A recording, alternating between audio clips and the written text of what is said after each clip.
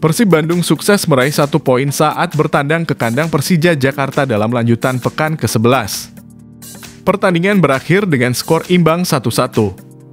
Meskipun tertinggal satu gol di babak pertama, Persib Bandung memberikan respons yang sangat baik di babak kedua dengan mengganti Freds Butuan dan memasukkan Beckham Putra. Keberadaan Beckham ternyata memberikan dampak positif terhadap kreativitas serangan Persib Bandung.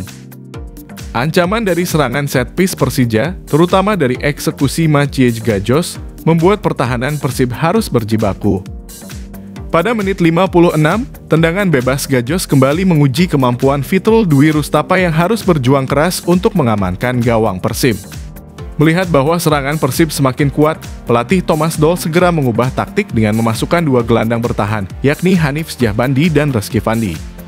Hasilnya, lini tengah Persija menjadi lebih kuat dan membuat Persib terpaksa mengalihkan serangan mereka ke sisi sayap. Peluang terbaik Persib di babak kedua datang di menit 67 ketika Levi Madinda mampu memberikan umpan sepak pojok kepada Daisuke Sato.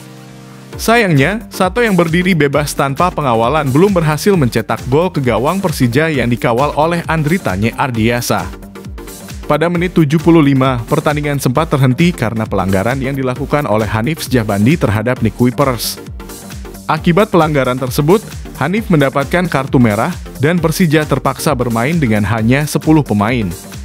Keunggulan jumlah pemain membuat Persija lebih fokus untuk bertahan, sementara Persib memperkuat lini serangan dengan mengganti Victor Igbonevo dengan David Da Silva.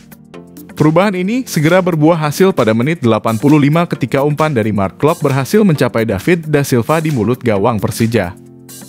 David dengan cepat menyontek bola ke dalam gawang Persija Jakarta, sehingga skor menjadi imbang 1-1.